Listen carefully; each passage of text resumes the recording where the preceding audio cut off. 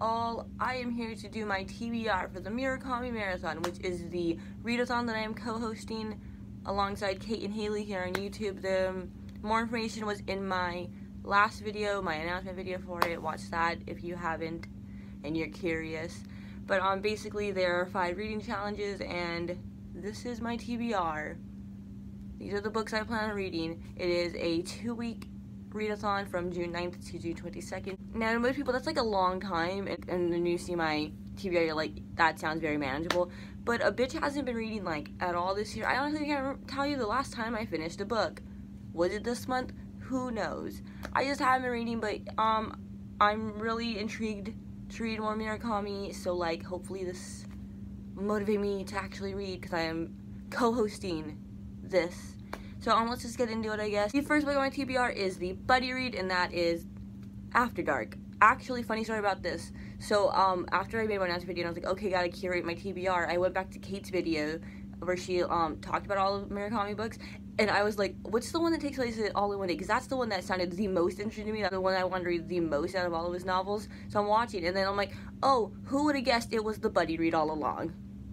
Um, I don't know shit about Murakami, as you can tell. This one just takes place all in one day, and it's in the Denny's, which is honestly perfect for me. That's all I care about. Some of my faves. Next challenge is to read a new to you Murakami, and that's basically all of his books, but I'm gonna go with Kafka on the Shore.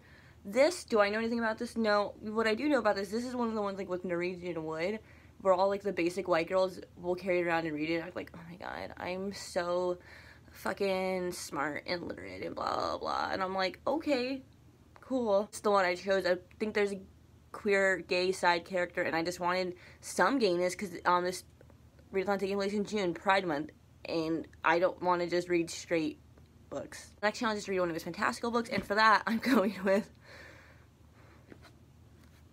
The Wind Up Bird Chronicle. Now, this is a thick boy. I don't know if that's a small font. I don't know. Is this the smartest decision for a readathon? who knows? Especially when I'm not reading like at all.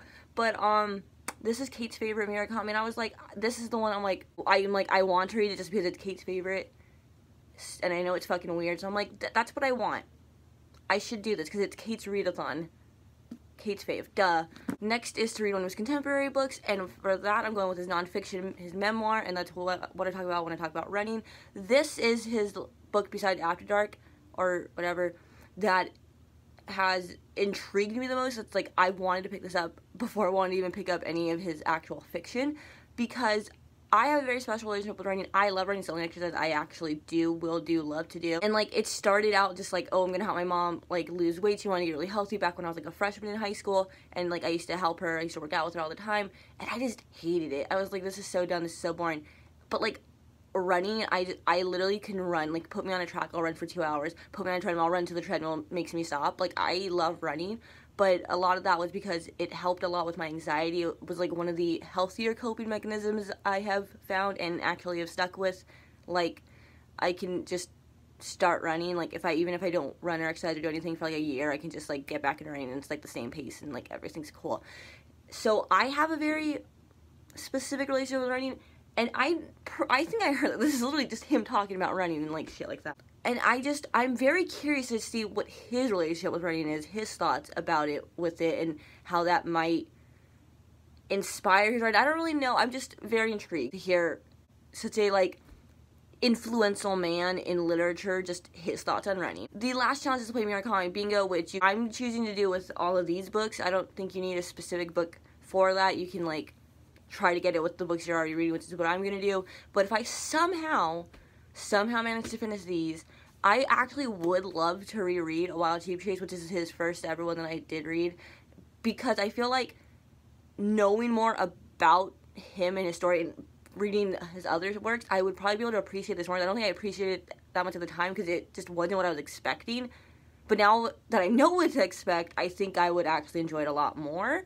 I also might not want to reread that and I was stuck between ordering one other book and I didn't know which, so like you can help me out with that.